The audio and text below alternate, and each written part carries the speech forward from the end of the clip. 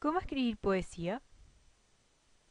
Para escribir poesía hay que tener en cuenta dos aspectos distintos, el tema y la estructura del poema. Veamos primero el tema. El primer aspecto a tratar sobre el tema es ¿de qué queremos hablar? Aquí nos podemos encontrar con distintas opciones.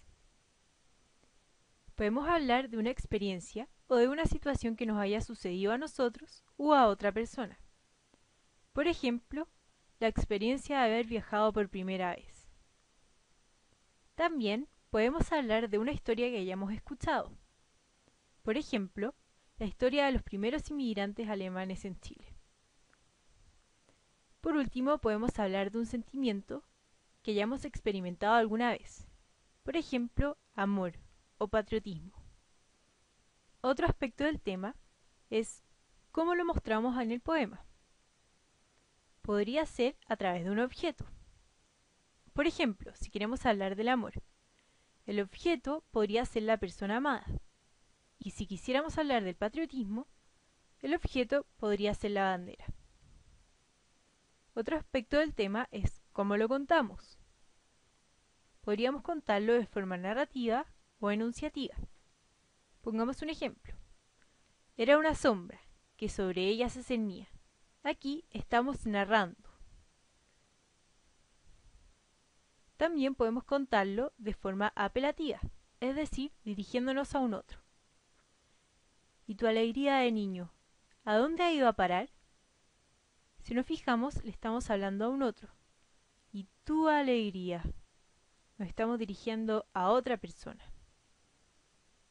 También podemos contarlo desde el yo. Por ejemplo, si decimos, sentía como si un sablazo de pronto me hubiese herido. Aquí se está hablando de un sentimiento de la misma persona que habla. Sentía y me hubiese. Con esto no, se nos indica que habla el yo.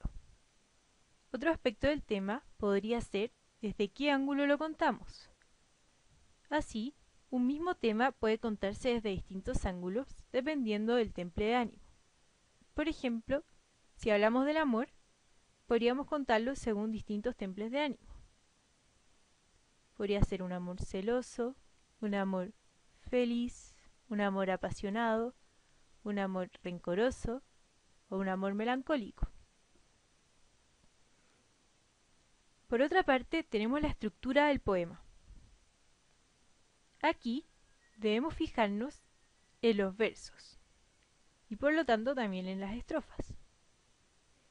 Podemos elegir estructuras con una cantidad de versos y estrofas determinados o podemos hacerlos con cuantos versos queramos. Son los sonetos, los alejandrinos, las décimas y los romances, entre otros. Pero también podemos utilizar el verso libre, es decir, con la cantidad de versos que queramos. Por otra parte, en la estructura podemos utilizar la rima. Es decir, podemos elegir poner o no poner rima. Los dos tipos de rima que podríamos utilizar son la rima asonante y la rima consonante. podríamos no utilizar rima. Por último, también podríamos utilizar en un poema las figuras literarias. Esto para enriquecer el lenguaje. Algunos tipos de figuras literarias son la metáfora, la comparación, la literación, la onomatopeya, la personificación, la metonimia, entre otros.